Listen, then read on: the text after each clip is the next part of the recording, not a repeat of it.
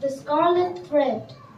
The smell of antiseptic hits my nose every morning when I enter the hospital door, welcomed by the signs of countless patients sitting as they wait for checkups, reports, and diagnosis, hoping, praying, and wishing for better reports while sharing their journey of battles lost and won, about nights of incessant tears and hopelessness, with myriad emotions across their faces, and I was reminded of the one scarlet thread.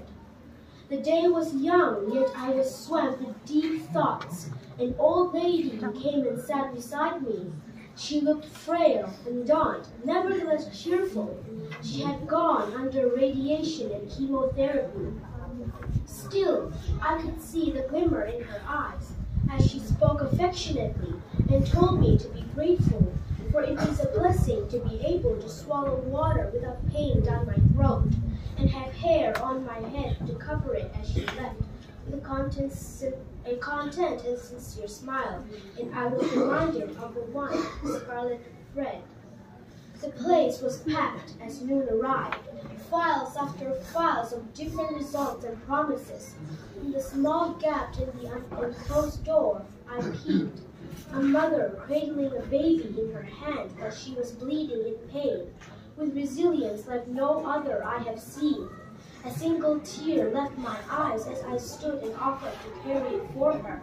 She looked up and smiled as she hesitantly handed me her baby. God has his angels everywhere, she exclaimed. With a grateful countenance, she left for her checkups, and I was reminded of the one scarlet red. The sounds of sobs woke me up from my reverie. It was the wife of a patient with a report of metastasis. The sole breadwinner of a family with little children, with one hand on his forehead. He closed his eyes he hugged his beloved, and there I was feeling as though I was inside a movie, wishing I was the writer who could turn it around. The chilly breeze said otherwise, acting though as a reality checker. The man was once an alcoholic and society would deem him an outcast. With a painful look, he could still say, God has given me another chance, and I was reminded of the one scarlet thread the one scarlet thread provided by God to save anyone who believes and swing it into eternity, left me in awe with his unchanging disposition.